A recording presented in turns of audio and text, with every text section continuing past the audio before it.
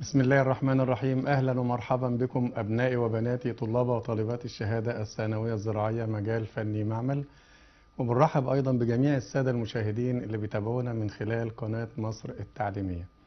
النهاردة هيكون معانا مستر أيمن رمضان بسيوني معلم خبير الفيزياء بوزارة التربية والتعليم. أهلا بك يا مستر أيمن. أهلا سعيد أهلا بأبنائي وبناتي طلاب وطالبات المدارس الثانوية الزراعية مجال فني معمل في حلقة جديدة من حلقات مادة الفيزياء الزراعية مع مدرسة على الهواء. آه، طبعا بنقول لجميع أبنائنا الطلبة وجميع السادة المشاهدين كل عام وأنتم بخير. طبعا زي ما إحنا عودناكم آه، النهاردة إن شاء الله بنعمل برضو مراجعة آه، سريعة كده على الحلقات اللي فاتت عشان نعمل ربط بين ال- الحلقات السابقة وحلقة النهاردة. إن شاء الله حلقة النهاردة تكون آخر حلقة في وحدة الصوت إن شاء الله وبعد كده ندخل في وحدة الضوء. طبعا في الوحدة ديت إحنا عرفنا الصوت وعرفنا الموجات وخدنا حاجة مهمة قوي. اللي هي قوانين انعكاس الصوت وقلنا ديت حاجة مهمة جدا وبتيجي في الامتحان. عرفنا طبعا الصوت وعرفنا الموجات. النهاردة إن شاء الله مستر أيمن هيقول لنا إيه هي قوانين انعكاس الصوت وإزاي نقدر بطريقة بسيطة قوي نقدر نعرف القانونين لأن هم سهلين جدا ومفيش فيهم أي مشكلة خالص. اتفضل يا مستر أيمن. اتكلمنا عن تعريف الصوت يا مستر سعيد وقلنا إن الصوت هو عبارة عن موجات تحدث نتيجة لاهتزاز الأجسام. آه هذه الموجات بتأثير أي مؤثر خارجي بتنتشر في الهواء أو أي وسط مادي آخر. قلنا إن الأصوات لا تنتشر في الفراغ لأن الفراغ ساكن تماما. آه قلنا بعد ما بتوصل هذه الأصوات إلى عضو السمع لأي كائن حي بتقوم الأذن بتجوير هذه الأصوات وإرسالها إلى المخ عن طريق ما يسمى بالعصب السمعي. بعد كده المخ بيترجم هذه الاهتزازات إلى أصوات أو نغمات. نعم. بعد كده عرفنا مستر سعيد إيه هي الموجة. مم. إحنا قلنا الموجة هي اضطراب أو اهتزاز بيحدث في الوسط المحيط بها. ده الموجة عشان الاضطراب والاهتزاز هيؤدي إلى صوت. هيديني صوت. اتكلمنا بعد كده عن قوانين الصوت أو قوانين انعكاس الصوت قلنا القانون الأول كان بيقول زاوية السقوط تساوي زاوية الانعكاس. نعم. وعرفنا من هنا إيه هي زاوية السقوط. وايه هي زاوية الانعكاس. وطبعا إحنا علقنا كتير قوي على الجزئية ديت لأن ممكن يجي في السؤال في الامتحان سؤال غير مباشر. آه الأسئلة ديت بتبقى جميلة جدا يقول لك الزاوية المحصورة زي الأسئلة اللي جات لنا عبر ال- المشاركات ال- من أبنائنا الطلبة في الحلقة الماضية. يقول لك الزاوية المحصورة بين الشعاع الساقط والعمود المقام مثلا 45 في اللي هي تعتبر زاوية السقوط يبقى هتكون زاوية الانعكاس قد إيه. وهنذكر لكم بعض الأمثلة برضو في حلقة النهارده إن شاء الله علشان نبسط الموضوع والموضوع ما يبقاش سهل. هو القانون الأول بيقول زاوية السقوط بتساوي زاوية الانعكاس. هي ديت الركيزة الأساسية اللي أنت المفروض تحفظها تماما وما تنساهاش.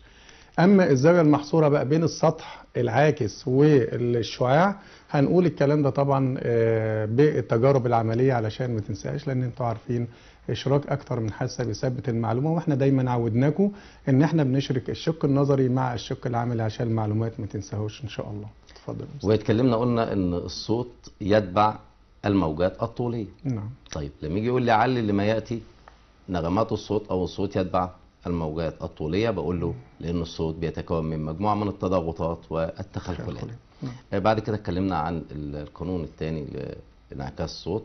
قلنا ان الشعاع الصوتي الساقط والشعاع الصوتي المنعكس والعمود المقام من نقطة السقوط عند السطح العاكس بتقع جميعها في نقطة واحدة عمودية على هذا عمودية على السطح. السطح. نعم. العكس. الجزئية برضو اللي اتكلمنا عليها وذات أهمية كبيرة قوي مستر أيمن اللي هو عبارة عن صدى الصوت وكيفية علاجه لأن برضو من الأسئلة اللي هي جات لنا بيقول لك آه، ما هي ظاهرة صدى الصوت وكيفية التغلب عليها؟ قلنا ظاهرة صدى الصوت هو عبارة عن سماع أو ارتداد سماع الصوت بعد حدوثه بلحظات. قلنا لابد أن يكون لها ثلاث شروط اللي هو المصدر الصوتي المسافة بين المصدر الصوتي والجسم العاكس ولابد أن يكون في جسم عاكس. وقلنا كيفية التغلب عليها اللي هي إيه؟ تغليف الجدران بطبقة من الخشب أو الفلين. اتفضل يا مستر. آه، بعد كده مستر سعيد نرجع تاني نقول لابنائنا الطلبة. آه، لما يجي لي سؤال ويقول لي عرف زاوية السقوط. نعم. ما تعرفش زاوية السقوط على إنها زاوية الانعكاس. آه ركز في السؤال عرف زاوية السقوط. أنا بقول لك صح وغلط. نعم. زاوية السقوط هي الزاوية المحصورة بين الشعاع الضوئي الم... الشعاع الصوتي المنعكس والعمود المقام طبعا الإجابة يبقى خطأ هو كده بيتكلم عن زاوية الانعكاس. يبقى نركز في السؤال تعريف مصطلح علمي. يبقى زاوية السقوط هي الزاوية المحصورة بين السطح العاكس والعمود المقام ده زاوية طبعا. ده طبعا بالنسبة للمراجعه السريعة علشان نربط بين الجزء ال- في الحلقات السابقة والجزء بتاع حلقة النهارده. وطبعا من الأسئلة آه، أذكركم بيها برضو في بعض الأسئلة اللي جات لنا. قال آه، علل تبنى ال- الكنائس والمساجد وقاعات المحاضرات على شكل قباب يعني السطح بتاعها بيبقى على شكل قبة. ده طبعا قلنا علشان تجميع الصوت. يبقى في فرق بين تجميع الصوت وصدى الصوت. تجميع الصوت اللي هو تجميع الصوت داخل بوق أو شكل قبة فبيخلي الصوت محسن وقوي. أما صدى الصوت هو عبارة عن انعكاس الصوت بعد حدوثه بفترة بسيطة يعني يمكن سماعه بعد فترة من حدوثه. آه، الجزئية بقى بتاع بعد كده بسيط في. عندي هي العوامل التي يتوقف عليها تردد وتر مشدود. نعم. دي مجموعة عوامل.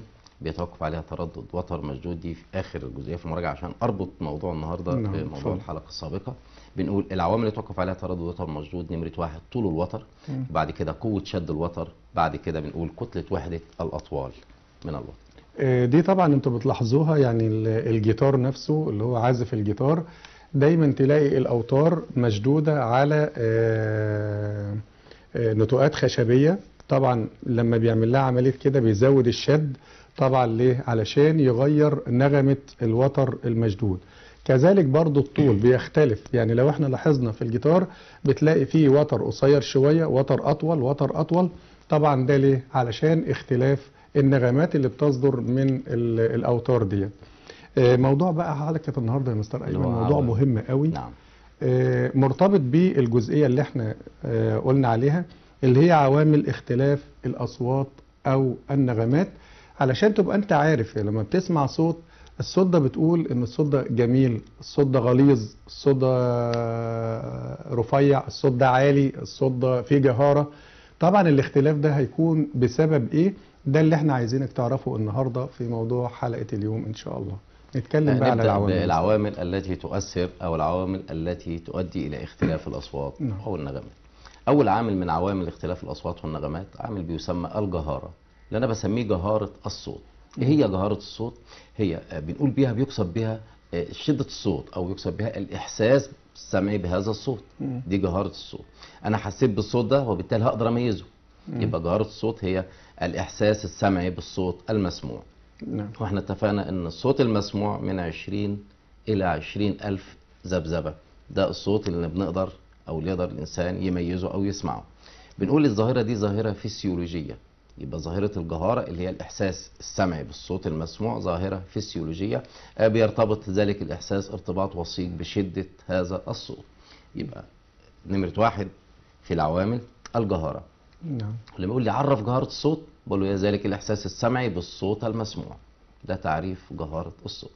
آه، طب بتتوقف جهارة الصوت على شدة الصوت يا مستر أيمن؟ بتوقف لأن على طبعا شدة الصوت. في ارتباط بينهم بشدة الصوت نعم طبعا. نعم. لأن إحنا اتفقنا وقلنا إن شدة الصوت أو الصوت المسموع اللي أنا بقدر أسمعه بيقع ما بين كذا إلى كذا وهي دي شدة الصوت المقصود بيها في الجهارة. نعم. آه، في بعض العوامل الأخرى آه، اللي هي عبارة عن النوع والدرجة والشدة. كل الحاجات دي مرتبطة مع بعضيها. بعوامل الاختلاف. نعم. العامل الثاني عبارة عن إيه؟ إحنا قلنا إن العامل جهارة الصوت بيرتبط ارتباط وثيق بشدة الصوت. طيب إيه هي شدة الصوت؟ شدة الصوت هي الطاقة الصوتية التي تمر في الثانية الواحدة بوحدة المساحات العمودية على اتجاه انتشار الأمواج. نعم. دي شدة الصوت اللي هي مرتبطة بجهارة الصوت. هي الطاقة الصوتية التي تمر في الثانية الواحدة بوحدة المساحات العمودية على اتجاه انتشار الموجة.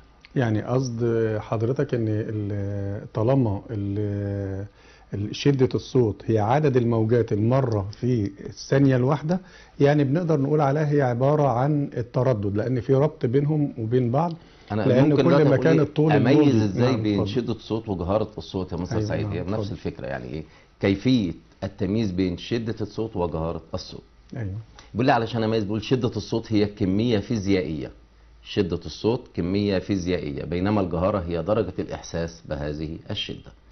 يبقى ده يبقى بتزداد الجهارة أو بيزداد جهارة الصوت بزيادة شدته. يبقى في علاقة هنا بين جهارة الصوت وشدة الصوت. هي نفس الفكرة اللي إحنا قلنا عليها المرة اللي فاتت. لو إحنا جبنا ال- الوتر وشدناه بين مسمارين على صندوق اللي هو صندوق الرنين طيب يا مستر أيمن نستكمل إن شاء الله بس هنطلع فاصل قصير. نرجوكم إن أنتم ما تبعدوش عننا وفاصل ونواصل إن شاء الله.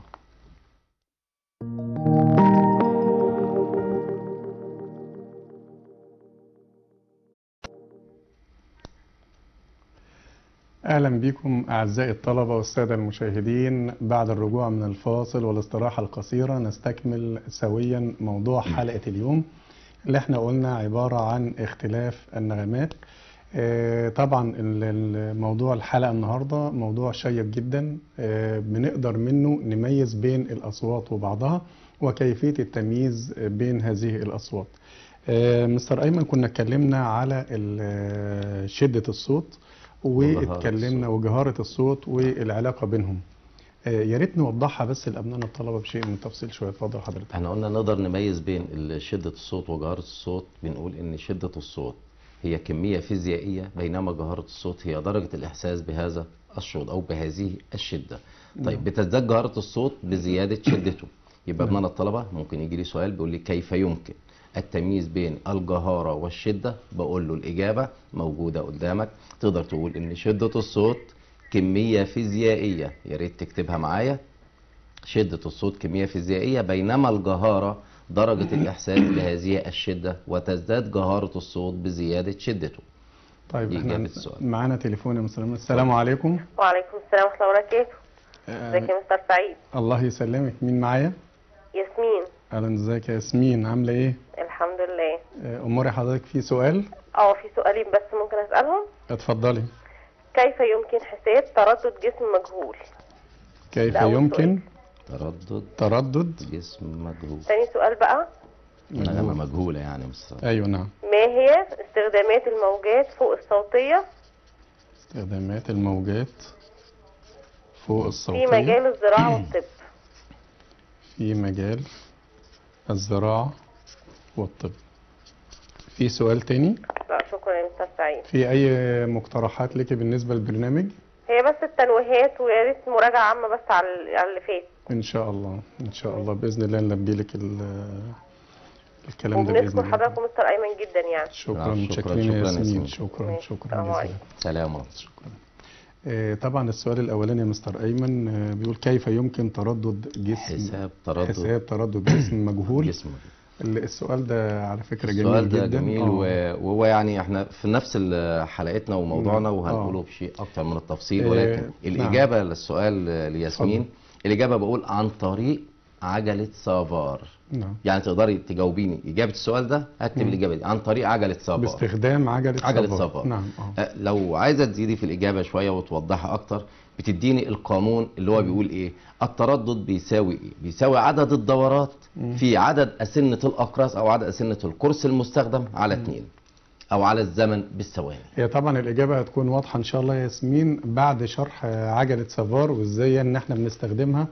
في قياس آه، آه، تردد هو كيفية آه، الحساب عن كيفية طريق حساب عجلة تردد سافار. آه، جسم مجهول نعم. لأن ممكن يكون عندنا شوكة رنانة مجهولة يعني دايما الشوكة الرنانة بيبقى مكتوب عليها التردد بتاعها إحنا معانا شوكتين رنتين اهمت يا مستر أيمن برضه عايزين نوري ياسمين بنتنا ديت معلومة يعني ديت معلومة مكتوب عليها آه عليها الرقم على عليها الرقم نعم بتاعها. 120 أو آه، 100 آه. نعم وعندنا واحدة تانية مجهولة يعني الشوكة الرنانة ديت مجهولة تماما.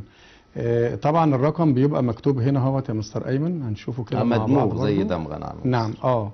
آه، بيبقى موجود كل شوكة رنانة بيبقى لها رقم الرقم ده بيبقى مكتوب هنا على ال- الشوكة نفسها علشان يبقى معروف التردد بتاعها وبالتالي بتريح من ال- السؤال. طيب آه، هناخد برضو سؤال تاني يا مستر أيمن آه، شيماء من اسكندرية. السلام عليكم. وعليكم السلام ورحمة الله وبركاته. ازيك يا أستاذ الله يسلمك. ازيك يا ازي شيماء حضرتك؟ الله يسلم ازي حضرتك؟ اتفضلي حضرتك. عندك سؤال؟ الله يسلمك يا أيوه شيخ أيوه الحمد لله. معايا عندي فيه ثلاثة إن شاء الله. ممكن؟ نعم. ثلاث أسئلة. ممكن؟ طب اتفضلي. آه طبعا ممكن. اتفضلي. ماشي حاضر ماشي. اللي هو السؤال الأولاني ما هو الأساس العلمي لعمل الايدرومترات ما هو الأساس العلمي؟ لعمل لعمل. الايدرومترات ماشي. السؤال الثاني آه، السؤال الثاني ما هو الأساس العلمي لتكوين دلتا الأنهار؟ لتكوين دلتا الأنهار. السؤال الثالث السؤال الثالث إذا كانت بقى سرعة الصوت في الهواء آه، هي مسألة 330 متر ما هي طول الموجة التي تحدث بها الصوت؟ طول الموجة. 130 متر على الثانية؟ ماشي. ما هي طول الموجة عندك سؤال تاني يا لا شيماء؟ استنى يا مستر سعيد. نعم،. لسه يا شيماء لسه في نعم. طيب طول الموجة 300 السرعة 330 متر على الثانية. طيب انت اديني اتنين مجهول في معلوم تاني عشان أنا أجيب المجهول التالت. طول الموجة عندك كام؟ أو التردد كام؟ لو 220 أيوه كده. 220 أيوه كده. نعم 220 زلزال 220 أيوة. دايما دايما في كل مسألة بتبقى عبارة عن ثلاث. حاجات. آه في عندي مجهولين وأنا طالب منك. مجهول. نعم. بيجي دايما مجهول واحد وبيجي اتنين معلومين علشان نبدأ نطبق المسألة على طول. آه آه السؤال الثاني ما هو الأساس العلمي لتكوين نعم. دلتا الأنهار؟ طيب عندك سؤال تاني يا شيماء؟ لا شكرا سيد ليكي أي مقترحات بالنسبة للبرنامج؟ والله هو البرنامج أصلا يعني هو مطور نفسه صراحة يعني وبيجيب شكراً. كل حاجة جديدة. شكرا شكرا يا شيماء. أوي. شكرا. شكرا. شكرا. شكرا يا شيماء. آه، بالنسبة بقى للسؤال الثاني بتاع ياسمين يا مستر آه اللي هي. استخدامات ما هي استخدامات الموجات فوق الصوتية في مجال الزراعة. على فكرة آه، والطب. دي- جزئية على فكرة. آه، في موضوع حلقة النهاردة. يعني الموجات الفوق صوتية هنتكلم عليها وإيه هي الفوائد بتاعتها في مجال الزراعة في مجال الطب في مجال الصناعة في جميع المجالات اللي إحنا اللي هي المحيطة بينا إن شاء الله. هي ياسمين طلبت مجال الزراعة ومجال الطب. آه اتفضل. نتكلم اتفضل. في مجال الزراعة مستر سعيد. بستخدم الموجات فوق الصوتية فيما يسمى بالتأثير البيولوجي. نعم إن أنا بستخدم الموجات فوق الصوتية لقتل بعض الحشرات القارضة والفئران من نعم. المزارع نعم. لأنها بتتغذى أو بت- بتقرض المحصول وبالتالي أنا بستخدم التأثير ده يعني الموجات. الفوق صوتية ديت بعض القوارض زي الفئران يعني ما بتسمع بمجرد ما بتسمعها بتترك المكان على طول سريعا يعني وممكن آه، أستخدمها برضو في وقتل اليرقات بعض في قتل اليرقات الأرض. وفي تسوية نعم. الأرض على أساس إن أنا ما يبقاش في عندي ارتفاعات وانخفاضات عن طريق ما يسمى بالميكنه الحديثة بالظبط. طب بالنسبة للطب يا مستر أيمن بالنسبة للطب بستخدم ال- ال- الأشعة الموجات الفوق صوتية. في التخلص من الآلام العصبية. نعم. بعمل جلسات بموجات فوق صوتية. للالام بيستخدموها دلوقتي لعلاج بعض التقيحات. التقيحات في آه، أنحاء الجسم برضو الكشف المختلفة. الكشف عن الكسور. والحصوات آه، يا في مستر العظام. سعيد في نعم، الكلى والمرارة تفتيتها عن طريق نعم. المنظار وبالتالي بدخل معاها موجات فوق صوتية بتعمل تفتيت لهذه الحصوات. طيب يا ريت يا سي... آه، ياسمين تكوني استفدت من الإجابة ديت. طب بالنسبة لشيماء يا مستر آه، شيماء كان عندها سؤال بيقول ما آه. هو الأساس العلمي لعمل الأيدرومترات؟ نعم. آه، الاساس العلمي لعمل الايدرومترات يا شيماء كنا قلنا انت رجعت انت بتذاكري بقى فرجعتي للمحاليل يعني. نعم. بيقول هو عبارة عن آه، قانون الغمر أو قانون اللي هو. أرشميدس قاعدة وقانون أرشميدس. آه، بالظبط كده. قاعدة أرشميدس وقانون الطفو آه اتفضل. لأن أنا عندي يا شيماء في الأيدرومترات أنا عندي موجود انتفاخ زجاجي في الأيدرومتر. الانتفاخ ده بيعادل كرات الرصاص الموجودة أسفل الأيدرومتر. علشان الأيدرومتر ما يطفوش أو ما يتغمرش نقدر نقول إجابة السؤال ده مستر أيمن ما هو الأساس العلمي لعمل الأيدرومترات هو قانون قاعدة الطفو. أرشميدس وقانون آه. الطفو وقانون الطفو بيقول لك إذا طفى جسم فوق سطح سائل فإنه يلقى دفع من أسفل إلى أعلى مقدار هذا الدفع بيعادل جسم وزن الجسم المغمور نعم طيب. طيب. بعد كده بقول لي يا شيماء إيه هو الأساس العلمي لتكوين دلتا الأنهار نعم آه، دلتا الأنهار هي موجودة أو مية اللي جاية من النهر محملة بالطمي والرواسب. نعم. هذا الطمي بيحمل شحنة سالبة. نعم. بيحمل شحنة سالبة. ومياه البحر بتحمل شحنة موجبة نتيجة للأملاح المعدنية اللي موجودة في مياه البحر وبالتالي بتتعادل الشحنات السالبة مع الشحنات الموجبة وبيترسب بنسمي دي دلتا النهر. طيب معانا مداخلة برضه بنتنا آية الأليوبية. السلام عليكم. عليكم السلام ورحمة الله وبركاته. ازيك يا أستاذ سعيد؟ الله يسلمك. ازيك يا أيمن؟ الله يسلمك. منورين. الله الله. يبارك. فيك. عاملة شكرا. إيه؟ الحمد لله. اتفضلي حضرتك. عندك سؤال؟ آه. اتفضلي. آه، من اللي هو من القوانين بتاعة انعكاس الصوت. قوانين انعكاس آه الصوت. من الرسمه بتاعة القانون. إمتى تتساوى الزوايا الأربعة؟ اللي هي الزاوية المحصورة ما بين السطح العاكس والشعاع الساقط نعم. وزاوية السقوط وزاوية الانعكاس والزاوية المحصورة ما بين الشعاع المنعكس والسطح العاكس السطح العكس. ماشي. سؤال جميل جدا يا آية. إمتى إمتى تتساوى الزوايا دي بقى الأربعة؟ هنقول لك إن شاء الله هنقول لك ونوريها لك على الرسمة مباشر برضو إن شاء الله. في سؤال تاني؟ آه فيما تستخدم ظاهرة صدى الصوت. ظاهرة آه صدى فيما تستخدم. الصوت. آه، حاجة في أسئلة تانية؟ آه متشكرة جدا. في أي مقترحات يا أستاذة آية؟ هو إحنا كل مرة بنقول عايزين تنويه عن الحلقات. الحلقة ماشي، دي مثلا الله. النهاردة إيه وبكرة إيه كده يعني. إن شاء الله بإذن الله تعالى. شكرا شكرا يا نعم. شكرا متشكرين جدا. شكرا. آه، مستر أيمن نرجع لل لسؤال شيماء. سؤال آه سؤال اللي هو كان شيماء. سرعة الصوت. إذا كانت سرعة الصوت 330 نعم نعم. نعم. والتردد آه، آه، 220 220 زبدة نعم. في الثانية. نعم. إحنا عندنا القانون يا شيماء كان بيقول إيه؟ عين بتساوي ت في ج نعم. السرعة بتساوي التردد في طول الموجة. نعم. أنا عندي هنا مديني سرعة الصوت مديني 330 مديني عايز طول الموجة مديني التردد 220 يحسب طول الموجة. نعم. أنا بقول له ج بتساوي يا شيماء عين على ت السرعة على التردد. يعني 330 على 220 تطلع يا شيماء واحد ونص ذبذبة في الثانية. ده بالنسبة للمسألة ده بتاعت مسألة شيماء. شيماء طبق القانون مم. اللي هو قانون العلاقة بين التردد طب بالنسبة لبنتنا آية بقى سألت سؤال جميل جدا يا مستر أيمن. قالت لك إيه؟ ما هي قوانين انعكاس الصوت؟ آه إحنا قلنا القانون اتفضل. الأول يا آية وزاوية السقوط تساوي زاوية الانعكاس. نعم. آه قلنا القانون الثاني إن آه الشعاع الصوتي الساقط والشعاع الصوتي المنعكس والعمود المقام بتقع جميعها في نقطة عمودية على السطح العاكس نعم. دول قوانين الانعكاس. سؤالك كان بيقول متى تتساوى الأربع زوايا مع بعض؟ إحنا ممكن نوريك القانونين في رسمة جميلة مع مستر سعيد ويقول لك إمتى بالظبط تتساوى الأربع زوايا؟ لو تساوت زاويتين هتتساوى الزاويتين الأخرتين. نشوف ال- القانون يا مستر سعيد آه، هي ديت على فكرة يا مستر أيمن اللي هو يعتبر ال- التطبيق العملي لقوانين انعكاس الصوت لأن ديت مهمة قوي. إيه هي الأهمية بتاعتها؟ يعني السؤال بتاع آية جميل جدا. آه، بتقول لك آه، إمتى تتساوى؟ تتساوى. الزوايا كلها مع بعض. إحنا دايما قلنا إن العمود دوت العمود القائم اللي هو واقف دوت ده بنسميه العمود القائم. يعني الزاوية ديت بتعتبر 90 درجة والزاوية دي بتعتبر 90 درجة. يعني الزاوية ده كده بتعتبر 90 درجة والزاوية ديت 90 درجة. إمتى الزاوية تتساوى؟ كاملة آه. الزاوية كاملة من مم. العمود المقام. مش ماليش دعوة بالشعاع الساقط ولا الشعاع المنعكس يا مستر سعيد. نعم نعم نعم. نعم. ولذلك إحنا دايما بنقول إيه؟ القانون الأول بيقول إن زاوية السقوط بتساوي بتساوي زاوية زاوية الانعكاس. الانعكاس. طيب دلوقتي لو الزاوية المحصورة إحنا قلنا الزاوية المحصورة بين العمود المقام والسطح العاكس بتساوي 90 لأن إحنا بنقول عمود مقام. أما الزاوية المحصورة بين الشعاع الساقط والعمود المقام بنقول عليها زاوية السقوط اللي هي ديت. أما زاوية الانعكاس هي الزاوية المحصورة بين الشعاع المنعكس والعمود المقام. طب إذا كانت الزاوية المحصورة الزاوية المحصورة بين الشعاع المنعكس والسطح العاكس هنا اللي هي الزاوية ديت مثلا 30 هتكون زاوية السقوط 60 هتكون زاوية الانعكاس 60 يبقى زاوية السقوط بتساوي زاوية الانعكاس.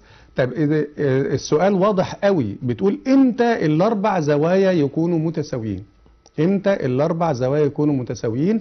إذا كان الشعاع الساقط واخد زاوية 45 الشعاع الساقط واخد زاوية 45 درجة.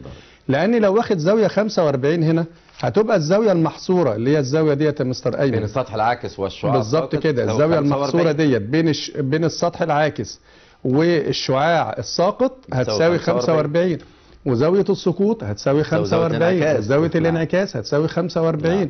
يبقى الزاوية المحصورة بين الشعاع المنعكس والسطح العاكس برضه هتكون 45 يبقى السؤال إمتى تتساوى الزوايا المحصورة أو الزوايا عامة في قانون الانعكاس الأول هنقول إذا كان الشعاع الساقط يسقط بزاوية 45 لكن إمتى ال- زاوية السقوط بتساوي زاوية الانعكاس بتساوي صفر؟ لما يكون الشعاع الساقط عمودي على السطح العاكس اما يكون الشعاع الساقط عمودي على السطح العاكس والرسمة ديت هنطبقها معانا برضو عملي وجايبين لكم الأدوات العملية علشان نطبقها إن شاء الله. ال- السؤال السؤال الثاني اتفضل يا كان الآية بيقول فيما تستخدم ظاهرة صدى الصوت. نعم. يعني اتكلمنا عن ظاهرة صدى الصوت.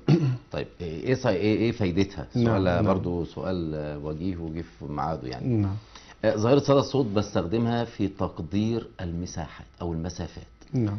ممكن أقدر مسافة أعماق البحيرات أو المحيطات أو الأنهار مم. عن طريق استخدام ظاهرة صدى الصوت بحساب المسافة اللي قطعها الصوت أثناء ذهابه الذهاب والرجوع- العودة. والعودة. نعم. يبقى أنا بقول بتستخدم ظاهرة صدى الصوت لحساب المسافات أو أعماق بحيرات أو محيطات.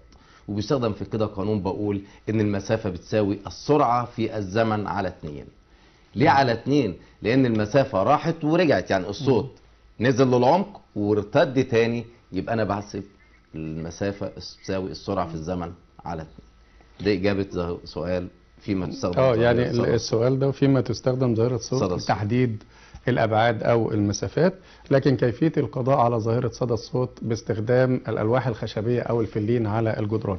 نستكمل بقى موضوع الحلقة يا مستر أيمن اللي هي تاني حاجة في عوامل اختلاف ال- النغمات أو الأصوات. اللي أو الأصوات اللي هي عبارة عن الدرجة. درجة درجة الصوت. الصوت درجة. الصوت هي كمية فسيولوجية إحنا اتكلمنا عن شدة الصوت وقلنا هي كمية قبل كده بنقول إن شدة الصوت كمية فيزيائية.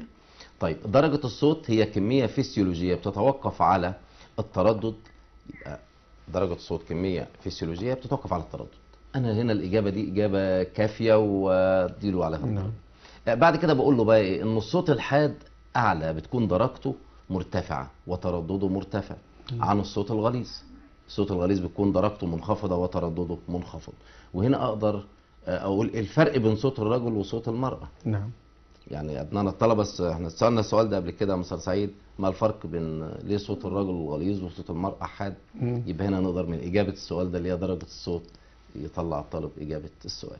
آه، طبعا هي بتختلف آه، بعض الأحيان هو ده سؤال عام. بس طبعا ال- العوامل الوراثية طبعا بتتدخل في الحكاية دي شوية. قانون له شواذ بقى آه يعني. طبعا.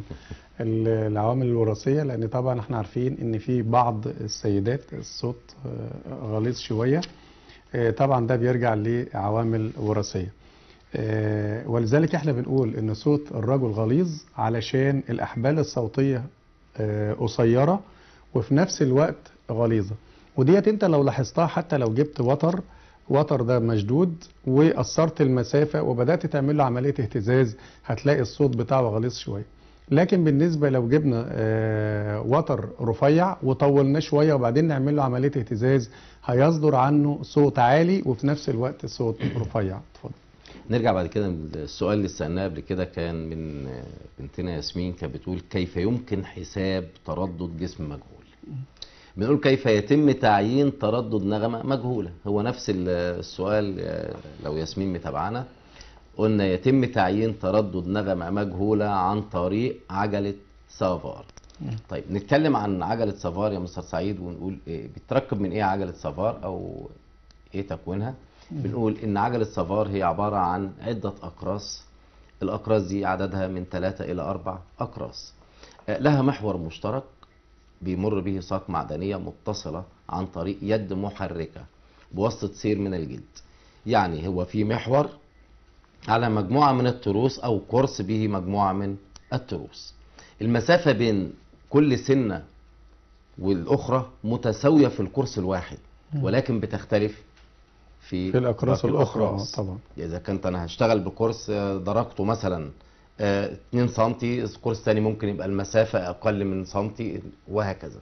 يبقى ممكن تكون النسبة محسوبة لأن هي أكيد هتبقى النسبة محسوبة في كل قرص جدا يعني على آه، حدة آه. في كل قرص على حدة يعني إحنا عندنا أربع أقراص ممكن يكون من ثلاثة إلى أربعة إلى خمسة إلى ستة بالظبط على. حسب الإيه درجة ال- التساوي بتاعة الأسنان لأن القرص الصغير أكيد المسافات آه، مش هتكون زي القرص الكبير لأ المسافات بتختلف من القرص الأصغر للقرص الأكبر للأكبر اتفضل عجل السفار هي بتركيبها بالظبط لو لو معانا الرسمة اللي آه، موجودة. معانا. أيوه. يعني دي رسمة تقريبية لعجل السفار إحنا قلنا هي بتتكون من آه، مجموعة من التروس من ثلاثة لأربعة أنا عندي ترس راكب عندي الترس الثاني متركب فيه السير الجلد على أساس لفه أو عدد لفات السير أو الترس نفسه. واسمع من هنا النغمة. كل ترس أو كل قرص له نغمة غير القرص الآخر يعني أنا لو حبيت أعين نغمة مجهولة ببدأ أترك على هذا الترس زي الشوكة الرنانة زي اللي الشوكة معانا. الرنانة نعم. إلى أن أسمع صوت مألوف للأذن وبالتالي أقدر أحدد هنا نوع النغمة. وممكن نعملها دلوقتي بالشوكة الرنانة المجهولة مع حضرتك ونعملها عملي عن طريق الشوكة الرنانة تدي نفس فكرة عجلة سافار لتعيين آه، النغمة. يعني دلوقتي إحنا بنعمل عملية طرق للجسم المجهول. بالظبط نعم. بعد كده بنقربه على الأسنان اللي هي موجودة بتاعة عجلة سافار بمجرد ما بينزل على الأسنان بيعمل صوت الصوت ده طبعا بيختلف من القرص الأول للقرص الثاني طيب للقرص نشوف التاني. طريقة. العمل وبعدين نعملها نعم، مع اتفضل، حضرتك اتفضل. الرنانة بنقول طريقة عمل عجلة سافار نمرة واحد بنترك الجسم المراد معرفة تردده وليكن شوكة رنانة نعم عدة مرات ليه بقى؟ علشان الأذن تسمع تسمع بالأذن وتألف الصوت. الصادر حتى تكاد تألفه الأذن تعرف الصوت ده وتقدر تميزه طيب آه، نمرة اتنين نمرة اتنين بيقولوا إيه؟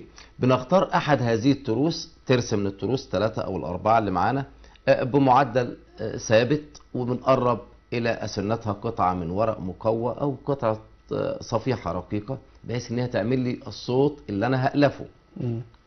طيب بيصدر عن ذلك صوت أثناء مرور هذا الترس أو أثناء دورانه بنغير من سرعة الدوران بزود السرعة أو بقللها إلى أن يصدر صوت يشابه صوت الشوكة الرنانة اللي أنا نعم. آه، مؤتلف عليها أو اللي الأذن واخدة عليها. طيب لما يصدر الصوت المشابه لصوت ال- الشوكة الرنانة أنا بقول ده الشوكة الرنانة اللي معايا دي معلومة التردد. نعم. يبقى الصوت اللي أنا ألفته من الترس. بيشابه صوت الشوكة الرنانة يبقى أنا كده عرفت التردد. ونحسب الفترة الزمنية بقى اللي إحنا. خدناها بواسطة ساعة. يعني هي الفكرة كلها إيه؟ إن إحنا عندنا مجموعة من التروس. وبنستخدم إما ورقة مقواة أو قطعة من الصفيح وبنقربها للأسنان اللي هي موجودة. عشان هي. الفكرة زي ما مستر أيمن قال إحنا عندنا شوكة رنانة معلومة زي الشوكة اللي معانا ديت. بنعمل لها عملية طرق طبعا إحنا عارفين علشان نسمع الصوت الشوكة الرنانة بوضوح إيه اللي إحنا بنعمله؟ إن إحنا بنعمل عندنا آه، بيبقى عندنا شوكة رنانة عندنا مطرقة. دي عبارة عن مطرقة زي شاكوش خشبي. كده. صندوق صوت والصندوق إحنا قلنا عليه قبل كده هو عبارة عن آه، صندوق خشبي مغلف من جميع الجهات. نشوفوا كده مع بعض اهوت. مفتوح من آه، جهة واحدة بس علشان آه، تخرج ال- الصوت. المكان العلوي دوت هو مكان وضع ال- الشوكة الرنانة. بيختلف صندوق الرنين من حجم إلى حجم آخر. يعني إحنا عندنا برضو صندوق رنين صغير اهوت. طبعا الاختلاف بيكون في آه، حدة الصوت وتردد الصوت وال- وارتفاعه.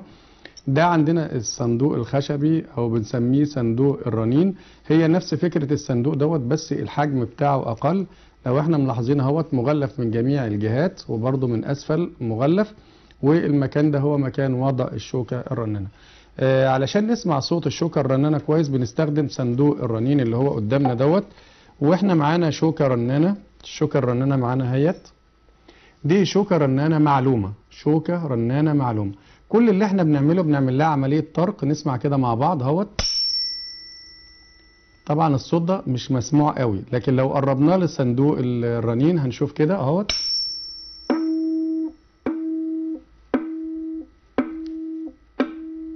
أنا بفصلها بشيلها وأفصلها علشان نعرف إيه ال- الصوت. نميز. ولذلك دايما ال- السؤال اللي كان بيجي قبل كده بيقول لك الصوت ينتقل في الأجسام الصلبة أقوى أو أسرع نعم، من نعم. الأجسام السائلة أسرع من الهواء. نفس العملية أهوت. بص إحنا لما بنقربه للجسم الصلب بنلاقي الصوت عالي. أهوت. تاني. طيب إيه الفرق بين الشوكة الرنانة ديت والشوكة الرنانة ديت يا مستر أيمن؟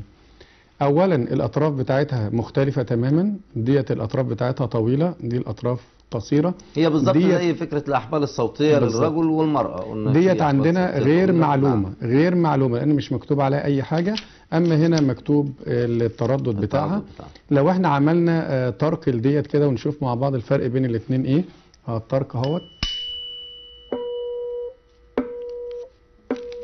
في اختلاف طبعا في الصوت برضو نترك دوت ونشوف الفرق إيه. الفرق ده بيعتبر غليظ شوية ده آه، رفيع وحاد. كل اللي إحنا بنعمله ان إحنا بنعمل عملية ترك ونفضل نسمع صوت الشوكة الرنانة لحد ما تألفه الأذن. بعد كده بنجيب آه، قطعة من ال- الكرتون أو قطعة من الساق المعدنية. نعم. وبعدين بنقربها إلى التروس بتاعة عجلة سفر وإحنا بندور بنقرب الورقة ديت لحد ما نسمع نفس الصوت اللي إحنا. سمعناه نعم. دلوقتي من الشوكة الرنانه بمجرد ما بنسمع بنشوف الفترة الزمنية اللي آه، حدث فيها آه، هي الخطوة الثالثه أنا بسجل يا مستر سعيد بعد إذنك نعم،. بسجل بقى بعد كده بواسطه ساعة الإيقاف الزمن اللي استخدم أيوة. في معين أو في دوران الكورس علشان أقدر أميز أقدر أحدد بالظبط عدد الدورات بتساوي كام وأحسبها بالثواني. نعم نعم. اللي أنا اتفضل. قلت فيها آخر مرحلة إن هي بنقول نسجل بواسطة ساعة إيقاف الزمن المستخدم لعدد معين من دوران هذا الكورس وبمعلومية عدد أسنة الكورس نفسه بيطبق القانون اللي أنا هنشوفه دلوقتي علشان أحسب ال- التردد لأن هي طبعا بتتحسب. بقانون التردد بيساوي نعم،. عدد دوران الكورس الكورس ده دار كام دورة أو لف كام لفة في عدد الأسنة لهذا الكورس الكورس فيه 30 40 سن على الزمن المستخدم بالثواني نعم ده اللي بسميه القانون علشان أقدر أحسب تردد جسم أو تردد وتر أو تردد أي شيء يا ريت القانون. ده برضو نحفظه يا مستر لأن نعم. ممكن تيجي سؤال عن طريق زي السؤال اللي جالنا بس يجي في صورة مسألة. نعم. لكيفية حساب آه، آه، تردد آه، جسم غير جسم معلوم. غير معلوم زي الشوكة الرنانة اللي معانا؟ طيب نبدأ بقى في باقي العوامل آخر أيمن. عامل من عوامل آخر عامل. آه عوامل الاختلاف الأصوات أو النغمات نوع الصوت. نعم. نوع الصوت بيقول يمكن للإنسان أن يميز نوع الصوت الصادر بواسطة خاصية اللي بتميز اللي بتميز بها الأذن الأصوات أو النغمات. إحنا قلنا إن الصوت هو عبارة عن اهتزازات للأجسام بينتشر هذا الصوت في الفر... في الهواء بيصل إلى عضو السمع لأي كائن حي بتقوم الأذن بتوصيل هذا الصوت إلى المخ عن طريق العصب السمعي بعد تكبير طبعا الصوت وبيقوم المخ بترجمة هذا الصوت إلى هل هو نغمة أو صوت. طيب هي بالظبط نوع الصوت.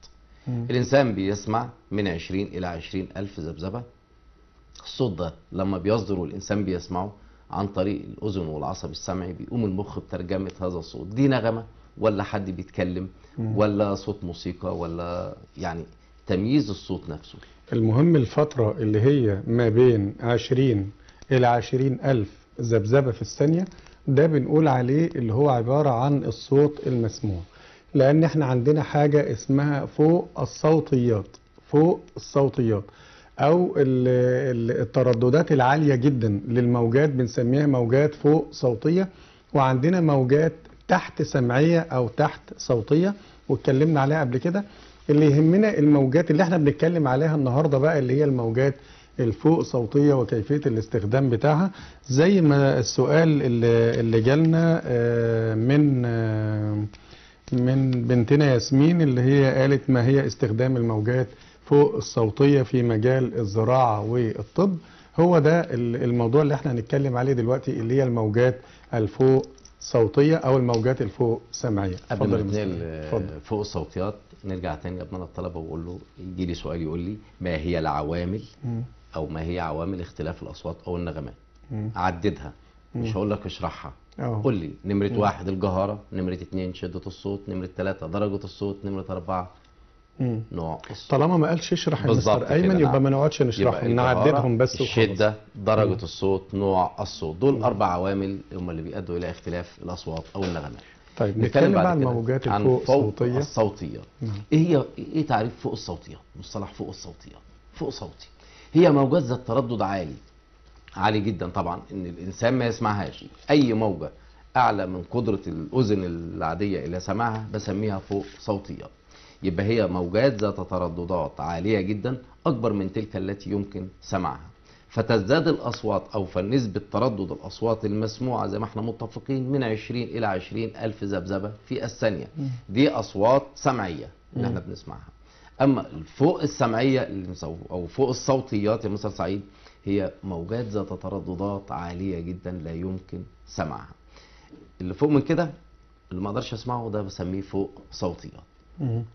آه، وذكرنا مثال من الحيوانات يا مستر أيمن طبعاً اللي هو. عبارة عن الخفاش الخفاش طبعا إحنا عارفين إن هو بيطير بالليل بي آه، بيهتدي إلى اليرقات عشان يتغذى عليها عن طريق إصداره موجات فوق صوتية ولا حتى يصطدم ولا. يصطدم. بالحوائط لأن هو بيصدر موجات فوق صوتية الموجات دي بترجع له تاني ومجرد ما بترجع له إيه اللي بيحصل بيعرف إن في آه، حائط أمامه فبيبتعد عن المكان اللي هو رايح له. يبقى الموجات الفوق صوتية هي عبارة عن موجات ترددها بيكون أعلى من 20 ألف ذبذبة في الثانية. أهم حاجة إن أنت تقول لي الكلمتين دول. أما التحت صوتية هي عبارة عن موجات بيكون ترددها أقل من 20 ذبذبة في الثانية.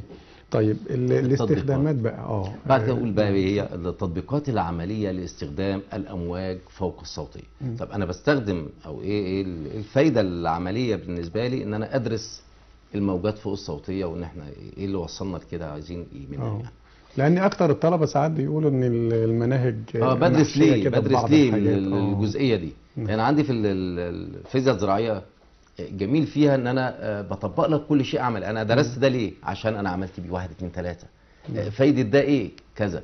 وبالتالي أنت لما بتقرأ المعلومة بتقراها بتقول الله ده هستخدمها في كذا. يبقى أنا كده بستخدم أكتر من حاسة مستر سعيد. عشان المعلومة نظري المعلومة،. وبعدين بشوفها عملي وبستخدمها في إيه. مم. بالتالي بتلاقي الدرس شيق والطالب ابنائنا الطلبة يا رب يقدروا يستوعبوا اللي إحنا بنقوله يعني. نعم. إيه هي بقى التطبيقات العملية لإستخدامات الموجات فوق الصوتية؟ نمرة واحد استخدمت الموجات فوق الصوتية في الكشف عن الطائرات في الجو والغواصات في أعماق البحار في غواصات آه، في البحر في سفن كبيرة بتغرق في البحر. بدأوا يستخدموا الموجات فوق الصوتية عشان يستخرجوها يعرفوا مكانها فين بالظبط. يبقى ده استخدام جيد جدا وتطور كبير في العلم إن إحنا وصلنا لأعماق البحار عشان هو إيه استخدام. الرادارات برضه يا مستر أيمن كله آه، شغال على الموجات الفوق صوتية إن هو بيصدر موجات وبيستقبلها تاني نتيجة لحسابه حسابه. أيوه بالظبط نعم،. حسابه للفترة الزمنية اللي هو بتروح فيها الموجة وبترتد بيقدر يحدد فعلا مكان الطيارة فين أو مكان الغواصة فين آه، يبقى ده بيعتبر أحد التطبيقات المختلفة لاستخدام يبقى أنا بقول يا مستر سعيد الصوتية. بتستخدم الموجات فوق الصوتية للكشف عن وجود الطائرات والغواصات فعندما تسقط الحزمه أو تسقط الموجات فوق الصوتية على طائرة مثلا فإنها تنعكس عنها نعم. طب لما بتنعكس عنها بتديني إيه بتديني صدى أو بتديني الصدى بتاعها يمكن الكشف عن الموجة المنعكسة باستخدام مستقبل هذا المستقبل مصنوع من بلورة من الكوارتز آه، بسميه بالسونار نعم آه، بتستخدم في الكشف عن حطام السفن لأن هو في المستقبل. ده المستقبل ده مهم جدا لأن لابد إن الجهاز يكون فيه مرسل, فيه مرسل وفيه مستقبل. برضه نعم. لازم يكون نعم. الاثنين علشان ده يستقبل بنسميه السونار طيب النقطة الثانية اللي هو قياس عمق البحر يا مستر أيمن لأن إحنا قلنا أول حاجة ممكن الكشف عن الغواصات أو الطائرات آه لأ ممكن آه تحديد عمق البحار لأن طبعا استخدام الموجات فوق الصوتية بين للعبارات بالذات علشان وهي ماشية أصلا داخل ال- البحر بتصدر موجات فوق صوتية علشان يحدد العمق عشان ما تكونش فيه شعاب مرجانية ما تكونش فيه صخور آه، بحرية كبيرة تصطدم بيها ال- العبارة وهي ماشية. فده إزاي بيتم تحديد العمق إحنا جاوبنا عن السؤال ده لسؤال اللي سألناه في اول حلقه نعم. لما كان بيقول ما هي استخدامات آه، صدى الصوت. نعم. آه، فهي آه. بالظبط إحنا جاوبنا على النقطة دي. بنقول إيه؟ تاني نقطة في استخدامات الموجات فوق الصوتية قياس عمق البحار أو البحر. يمكن قياس عمق البحار بقياس الزمن الذي يمضي ما بين إصدار الموجات فوق الصوتية واستقبالها. يعني بين الإصدار المرسل والمستقبل استقبلها. يبقى أنا بقيس عمق البحر بالمسافه بين إرسال الموجة فوق الصوتية واستقبال هذه الموجة بعدما تنعكس. وقد تم تصميم جهاز مبني على هذه القاعدة بحيث يعطي العمق مباشرة. نعم. طيب هذا الجهاز يا مستر سعيد بيستخدم موجات فوق صوتية ذات تردد عالي ويوضع المرسل والمستقبل مع بعض. نعم. يعني المرسل والمستقبل موجودين جنب بعض. المرسل بيرسل والمستقبل بيستقبل. في نفس. الوقت يقول لي عمق البحر ده أو عمق المكان ده كام متر أو كام سنتيمتر ثالث حاجة من التطبيقات يا مستر أيمن اللي هو عبارة عن التأثير الميكانيكي وده طبعا بيعتبر مهم جدا. ليه؟ لأن التأثير الميكانيكي ده ممكن يستخدم في الطب عن طريق تفتيت الحصوات ممكن نتيجة إصداره لماسورة معينة ممكن الماسورة ديت لو هي لنقل المية أو البترول إزاي نعرف إن المنطقة ديت فيها شرخ ده عن طريق استخدام ده أنا لو اتفضل. موجات فوق صوتية مصر سعيد على لوح زجاجي أو على صاج. مقوى قادرة إنها تعمل ثقب في مم. هذا الزجاج نعم نعم يبقى قوة الموجات الفوق صوتية إنها تؤدي إلى اللي هو. النقش بالليزر دلوقتي اللي بالظبط بيسموه كده الحفر الرسم على الحفر بالليزر آه. على استخدام الحفر في الزجاج استخدام الحفر في المعادن باستخدام الموجات الفوق صوتية اتفضل طيب بعد كده بستخدم موجات فوق الصوتيه مصر سعيد في الطب بقى في علاج الألام العصبية آه، أو الاستخدام الموجات فوق الصوتيه علاج الألام العصبية اثنين بستخدمها في الألام الروماتيزمية ثالث نقطة بتستخدم في علاج التخلص من الأنسجة المتقيحة في مختلف أنحاء الجسم. بسلط عليها الموج الفوق الصوتية بالتالي بقضي على هذه الأنسجة المتقيحة. بتخلص من الحصوات في الكلى أو المرارة الحصوات مم. الكلوية والمرارية عن طريق برضو ال- المنظار اللي ببعت له هو طبعا دخلت موجات حاجات. كتيرة قوي مستر أيمن في مجال الطب استخدام الموجات الفوق صوتية لأن استخدام آه، كل ده بسميه التاثير الميكانيكي جداً. نعم. للموجات الفوق الصوتية نعم آه، طبعا برضو زي ما إحنا قلنا في برضو بعض التطبيقات المختلفة آه، للموجات ال- الفوق الفوق صوتية صوتية. على فكرة لو جه السؤال لأن دايما السؤال زي ما بالظبط يا مستر أيمن زي ما بنتنا ياسمين سألت قالت ما هي استخدامات الموجات الصوتية فوق الصوتية في مجال الزراعة والطب. يعني هي حددت نعم. حاجتين معينين فدول اللي إحنا بنتكلم عليهم. لكن لو قال ال- استخدام الموجات الفوق صوتية وسكت يبقى إحنا هنعدد كل الحاجات اللي أنا إحنا عندي بدون بستخدم الموجات فوق الصوتية في الكشف عن الشقوق في المعادن. مم. لو أنا عندي مواسير غاز تبقى تحت, تحت الأرض. ما احناش آه، شايفينها وفي طبعا. ماسورة منهم حصل فيها ثقب. نعم. بستخدم الموجات فوق الصوتيه عشان تحدد لي مكان الثقب فين وافحر وابتدي افحر واعمل لحام لهذا الثقب. نعم. يبقى برضو استخدام جيد جدا للموجات فوق الصوتيه ان أنا بقدر احدد الشقوق فين. لأن طبعا. بيستخدم جهاز يا مستر أيمن المفروض الجهاز دهوت لما بيصدر موجات فوق صوتية المفروض لو ما فيش شرخ ما فيش أي حاجة هيرجع نفس التردد. لكن لو في شرخ لازم هيحصل خلل في ال- الشعاع المنعكس على الجسم فنعرف إن في خلل في المنطقة ديت سواء آه، ثقب سواء شرخ آه، دي طبعا بيتم الكشف فيها سواء في مواسير المية مواسير نقل الغاز مواسير البترول طبعا كل الحاجات دي وبرضو بستخدم موجات فوق. الصوتيه في صناعة السبائك مم. بعض السبائك بستخدم فيها بسلط عليها موجات فوق صوتية عشان أبدأ أشكلها وأخد منها الأشكال اللي أنا عايزها يبقى بستخدم برضو الموجات في صناعة السبائك. نعم. لأن إحنا عارفين إن السبائك ديت زي الذهب عن مثلا. محلول يا الذهب ايمن مثلا. نعم. الذهب ما أنا نعم. إيه اللي بي بيؤدي إلى رسومات؟ في بعض الرسومات جميلة جدا على الذهب. دي آه. برضو بموجات فوق صوتيه إحنا طبعا عارفين إن ال- السبائك هي عبارة عن نوع من أنواع المحاليل اللي إحنا خدناها قبل كده اللي هي محاليل الصلب في الصلب. آه قلنا في وجود مسافات بينية بين المعدن وبعضه بمجرد ما بنسلط عليه آه، موجات فوق صوتية بيحصل عملية تحلل لهذه ال- المعادن وبيحصل لها عملية إيه تجانس مع بعضها وتكوين محلول اللي إحنا بنسميه السبيكة آه، في آه. حاجة تانية يا مستر أيمن بالنسبة لل آخر آه، نقطة اتفضل. عندي في التطبيقات التأثير البيولوجي نعم إيه هو التأثير البيولوجي بيقول وجد بعض العلماء أن الموجات فوق الصوتية يمكنها قتل بعض الأسماك والضفادع والفئران الكلام. ده إحنا قلناه إذا وضعت في مجال الموجات فوق الصوتية مم. كما أن هذه الموجات لها القدرة على إيقاف نمو الخميرة إذا تعرضت لها مم. يبقى دي استخدامات ممكن أكتبها لو جالي في الزراعة أقول له التأثير البيولوجي نعم بقضي على الحاجات دي علشان ما تأثرش على محاصيل عشان ما تكونش جذور النباتات من الأرض علشان عشان حاجات كتير جدا يبقى أنا استخدمت الموجات فوق الصوتية في الزراعة.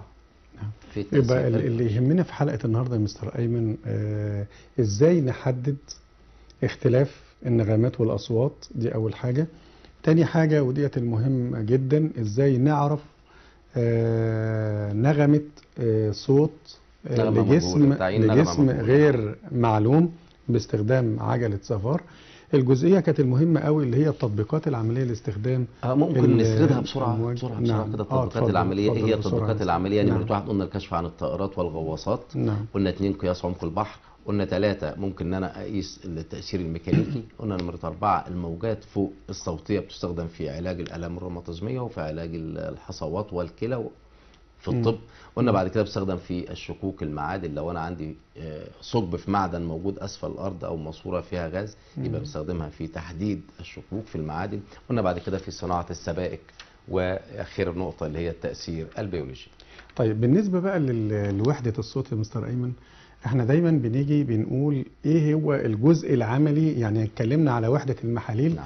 قلنا الجزء العملي في وحدة المحاليل اللي هو إزاي تقدر تقيس تركيز محاليل باستخدام الايدرومترات يعني بيجيب لك 3 4 مخابير الثلاث أربع مخابير فيهم محاليل مختلفة مختلفة ال- التركيز أما بالنسبة لوحدة الصوت اللي هي. نعم. كيفية. التحقق أو إثبات قوانين. انعكاس الصوت وقلنا ال ال الحكاية ديت سهلة جدا إن إحنا بنجيب ماسورتين. الماسورة ديت بيكون طولها متر. ال ال القطر بتاعها بيكون 10 سنتي. وعملنا لك نموذج مصغر. النموذج معانا هوت برضه يا مستر أيمن برضه لابنائنا الطلبة يشوفوه. هي نفس الصورة اللي إحنا عرضناها قبل كده. آه، عبارة عن ماسورتين. الماسورتين دول متعمدين لأن هنا في سطح عاكس. ماشي؟ هي باينة معانا اهوت.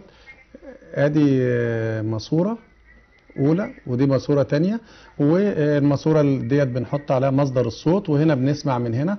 مع تغيير حركة ال- الشعاع المنعكس بنقدر نحدد زاوية السقوط وزاوية الانعكاس. ودي سهلة جدا وممكن أي آه، طالب بيعملها. طبعا في نهاية الحلقة بنشكر آه، مستر أيمن رمضان بسيوني معلم خبير الفيزياء بوزارة التربية والتعليم. شكرا مستر أيمن. بنشكر آه، ياسمين وشيماء وآية ودايما تتواصلوا معانا كده إن شاء الله. بنشكركم على حسن الاستماع. وبنشكر جميع السادة المشاهدين اللي بيتابعونا من خلال قناة مصر التعليمية. وإلى اللقاء في حلقة قادمة إن شاء الله. والسلام عليكم ورحمة الله وبركاته.